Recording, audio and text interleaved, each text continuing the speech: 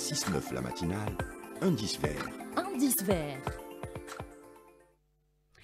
Indice vert, la chronique du développement durable qui a viré au rouge depuis le 7 octobre 2023. Bonjour Hamid Belkassem. Soraya, bonjour. Bonjour tout le monde.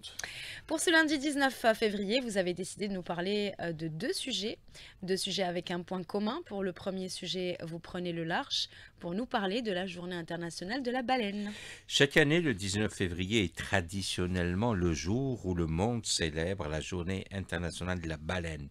Selon l'Union internationale pour la conservation de la nature, près du quart des espèces de cétacés sont considérées menacées, dans neuf espèces classées en danger ou en danger critique d'extinction. Par exemple, la baleine bleue est classée en danger et la baleine de Biscay est en danger critique d'extinction.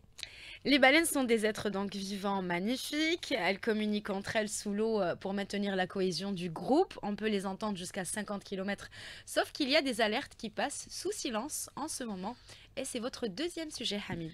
Un rapport du Centre libanais de conservation de la nature intitulé L'impact socio-environnemental des bombes au phosphore blanc au Liban Sud tire une sonnette d'alarme.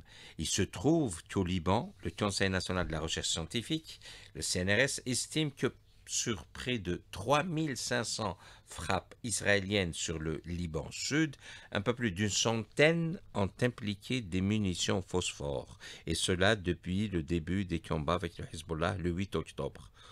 Outre l'impact direct sur l'homme, l'infiltration du phosphore blanc dans le sol menace toute une série d'organismes vivants, d'autant plus qu'elle peut atteindre les aquifères et les cours d'eau.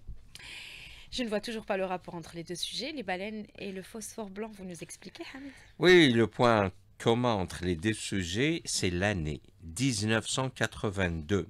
En 1982, la Commission baleinière internationale a interdit, elle a interdit la chasse commerciale aux cétacés. Nous sommes en 2024 et l'interdiction de cette pêche commerciale est toujours respectée. En 1982, l'armée sioniste a commencé ses bombardements avec du phosphore blanc. Nous sommes en 2024, l'armée sioniste utilise sans aucune restriction commerciale du phosphore blanc. Il n'y a toujours aucune commission internationale pour conserver le peuple de Rza comme composante de l'espèce humaine alors qu'il est en danger critique d'extinction. Merci infiniment, Hamid.